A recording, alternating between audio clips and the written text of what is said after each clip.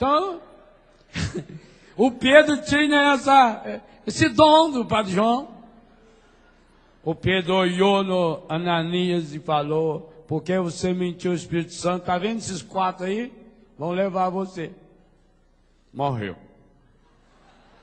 Passou um tempo, chegou a viúva.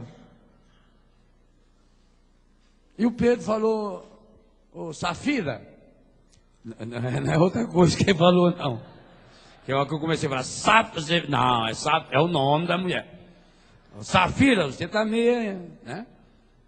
É verdade que vocês venderam aí. Ah, é sim. Mas olha só. Deixe de ser mentiroso. Você está vendo aqueles quatro lá? Está chegando aí? Com aquela pá ainda na mão. Acabaram de enterrar o seu marido, vão levar você. E ela, tuf. Olha, João, deu certinho homenagear você hoje. com, essa, com esse dom seu. Aliás, se alguém quiser depois de uma benção, ele vai atender. Enquanto nós tivemos o show da Eliana, hoje eu vou cantar no show. É, meu filho, hoje eu venho cantar aqui de noite. O padre vai.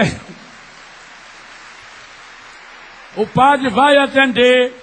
E também, se você não quiser dar na cara, põe o bilhetinho, o nome. Né? Ele faz a reza lá.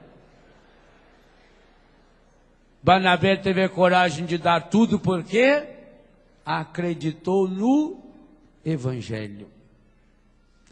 Sem esse processo, daqui vocês vejam a importância da evangelização.